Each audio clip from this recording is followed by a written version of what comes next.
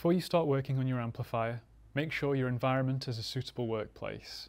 Somewhere where you can easily see what you're doing, make sure there's no liquids nearby, and also make sure any jewellery is removed before starting work on your amp. So what is biasing? Biasing is setting the amount of current which travels through these two valves, or in some cases four valves, whilst the amplifier is in an idle state.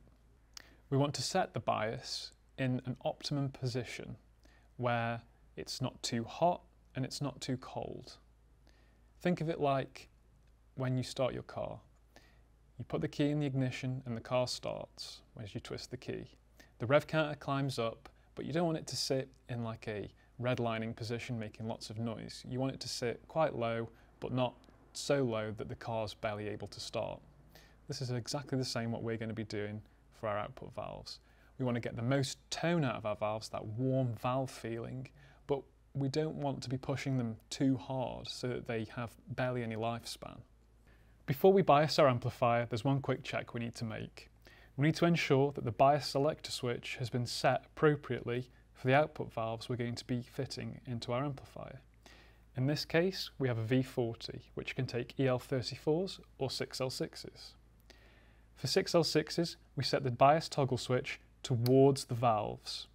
Or, if we're selecting EL34s, as in this case, the selector switch must be moved facing away from the valves. All this information can be found on the back cage or in the manual of your amplifier. Some amplifiers, this will be different. So for our Sheriff 25, this is fitted with either EL86s or EL84s. If you're still confused, you can always drop us an email. To begin biasing your amplifier, you're going to need to remove the base. You'll need something strong and stable to support one side of the amplifier as it will have to be turned upside down.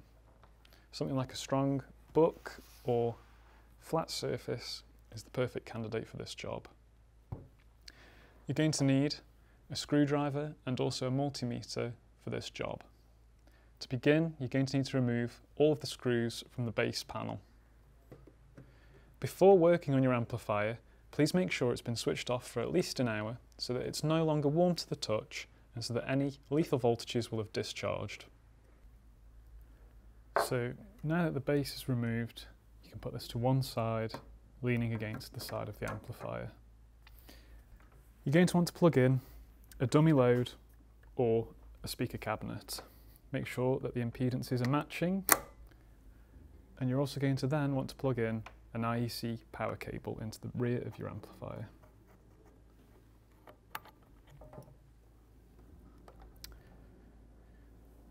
Make sure it's set to standby on the front panel and switch on. Give it a couple of minutes just to get warm. Now that your amplifier is switched on and set to the high power mode, make sure all of the controls are turned down to zero. Make sure any switches are set to their off position or to their upward position. Now we're going to test for the bias itself. To do this you're going to need a multimeter.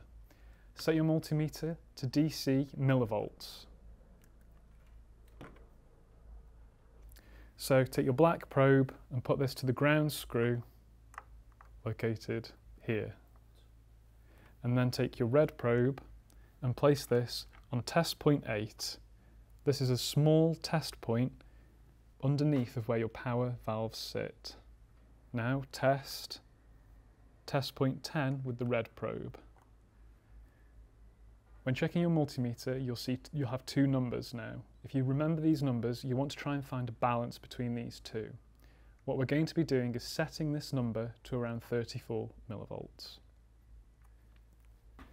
Now, taking a small Phillips or flathead screwdriver, we're now going to adjust the trim pot which will change the amount of current which is sent through your output valves. The bias trim pot can usually be found on the left hand side of the PCB or it can be found on the rear panel of the amplifier on some of our later models. You want to turn this clockwise if the bias is set lower than 34 millivolts or anti-clockwise if this is higher than 34 millivolts.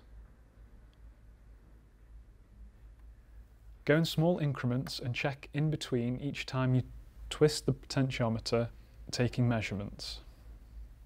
Same as before, go straight into the ground screw here and then to test point 8 and then to test point 10.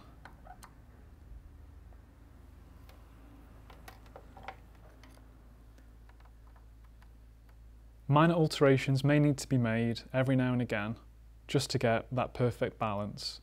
You may notice both of your valves may slightly be out by 1 or 2 millivolts, which is fine. Just try and get them both as close to 34 as possible. So maybe one at 33 and one might be at 35. This is perfectly acceptable. One important consideration to make. If you're not confident working on high voltage circuits, take your amplifier to a technician. It's not worth risking your life just to swap out the valves on your amplifier.